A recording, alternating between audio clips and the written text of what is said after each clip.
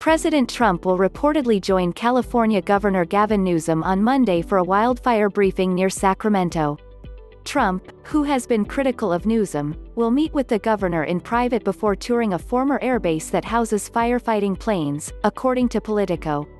More than 3 million acres of land in the Golden State have been decimated by wildfires in recent weeks.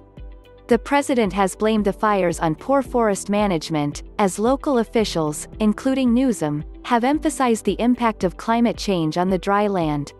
During a recent trip to a devastated forest in Butte County, Newsom said the fires were evidence that a catastrophic change had come.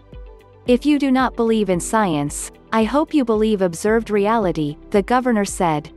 The hots are getting a lot hotter and the wets are getting a lot wetter. The science is absolute. The data is self-evident.